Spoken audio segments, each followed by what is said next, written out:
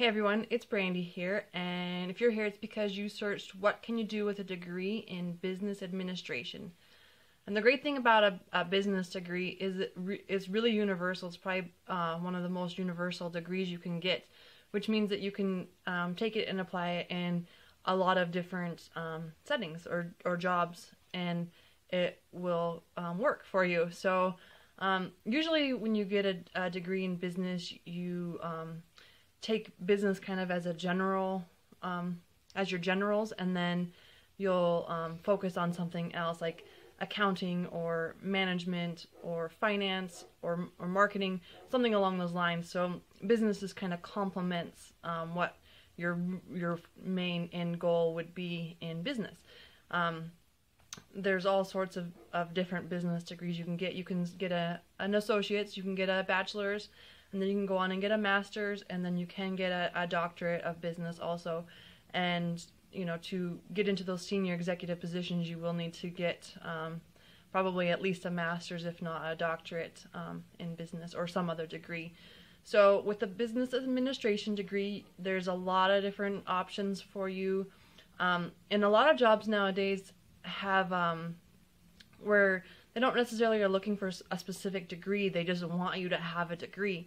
And with my last job that's how it was um, i have an associate's in business and the the position i applied for all it required was a, a two-year degree.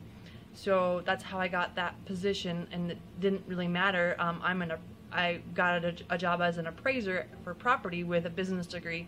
So that was kind of nice and it was a government job so there's all sorts of government jobs. There's retail, um, hotel and restaurant, um, any hospitality sort of thing. Um, healthcare needs a lot of business um, degrees people. There's transportation, um, management, finance, marketing, accounting, and then um, a lot of nonprofits too can use um, people with business degrees to help them out as well.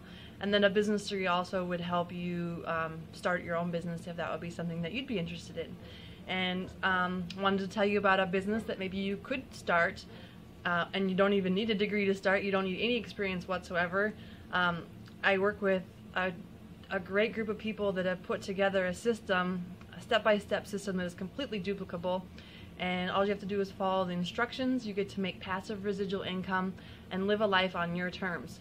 It's pretty cool. The the company is uh, rock solid this is really a unique opportunity i've never seen anything like it um, you know, I've been going through life trying to figure out what it is that I've always wanted to do, and I finally found it. So I'm sharing it with you. So go check out getoffthefence406.com. You put in an email, and I'll send you some more information. Um, and see what that would look like for you. And it could save you some college time, could save you a ton of money. And you know, there's a lot of people out there with business degrees, so the the field field is pretty saturated. Um, so there's that too. And like I said, you don't need any experience, so and it's pretty cool and you get to help people, which is like the best part for me is you get to help people and you know, I've had to reach out for help myself and to finally be able to give back is a big thing and I'm really enjoying it and so I'm letting you all know about it. So getoffthefence406.com um, or there's a link right down below. You can just click that and it'll take you right there. So um, I look forward to talking soon. Have a great day.